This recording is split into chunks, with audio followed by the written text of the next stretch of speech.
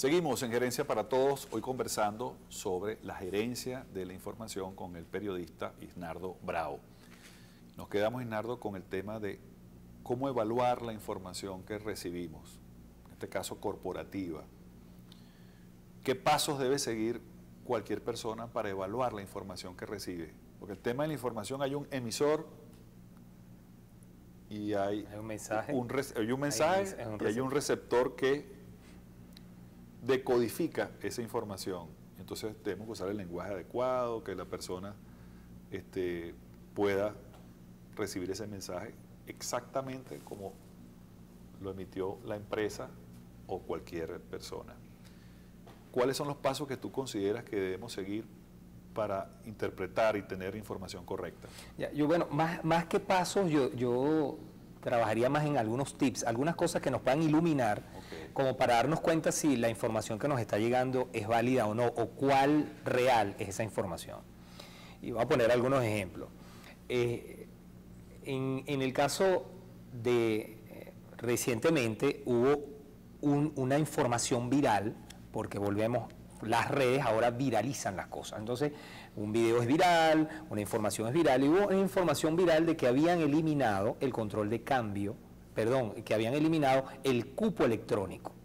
Eso se viralizó. Y a mí me, una persona, esposa de un político, me pregunta, oye, ¿qué sabes tú de esto? Yo le digo, ya va, ¿dónde? No hay una gaceta oficial, ¿dónde está la gaceta oficial? No, me dijeron que me la iban a pasar, pero no me la pasaron. Bueno, vamos a revisar la Gaceta Oficial. O sea, lo primero que usted debe hacer cuando le llega una información es saber de dónde salió esa información, o por lo menos averiguar. Y mira, la gente ahorita está tan, diríamos, tan pila, que en una conferencia un conferencista dijo, fulano de tal, que era un pintor, y en la conferencia le dijeron, mira, yo busqué eso aquí, el señor Google dice que el tipo no es pintor. Eh, porque la gente está muy, muy activa. o sea, yo creo más bien que se ha subestimado al público. A, mí me, sorprende cuando la gente dice, no, porque a la gente le dicen y la gente lo cree. No es así tan exacto. Es posible que un segmento sí lo crea, pero la gente está muy activa en la búsqueda de la veracidad de lo que le está llegando. Y eso pasa también en las empresas, lo hablamos mientras estábamos en la pausa. Hay jefes que le dicen a los empleados, vamos a reunirlos, mira, lo vamos a reunir, la empresa está perfecta. Y el mensaje que le llega a los, a los empleados es, mañana van a cerrar la empresa. O sea, el empresario está diciendo que van a invertir, que van a hacer, porque hay un problema que también lo hablábamos en la parte inicial de la credibilidad. Usted puede saber si una información es realmente buena, no buena, no, porque no es ni buena ni mala, sino es veraz, dependiendo de la fuente donde viene. O sea, por ejemplo, Nelson Bocaranda daba información en torno a el estado de salud del presidente de la República y hasta el mismo sector oficial lo seguía, porque él llegó a tener un nivel de credibilidad tan importante respecto al tema que manejaba que nunca, nunca nadie lo desmintió. eso que le da a usted, eso le dice usted, mire, si lo dice tal persona, y dije un nombre, Nelson Bocarada, puede ser cualquiera, pero si lo dice el jefe, es verdad porque el jefe yo le creo. Es decir, que usted también debe considerar quién está diciendo la información. Y viene un récord pues, de, credibilidad, de, veracidad, viene un récord que, de alguna manera certifica esa información. Hay otro tema interesante que, que generan las empresas, que es la información, digamos, comercial y de responsabilidad social también, que es muy importante para, digamos, todo el sector o el ámbito empresarial que está en nuestro país.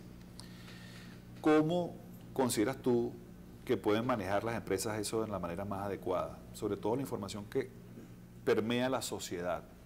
Sí, me, hace recordar, mientras me hacías la pregunta, de un caso, yo entrevisté una vez a un dirigente vecinal de Katia en, en el programa que tengo en Teneo Radio, y él hablaba de una empresa que es una cantera que está por la carretera vieja, Caracas-La Guaira.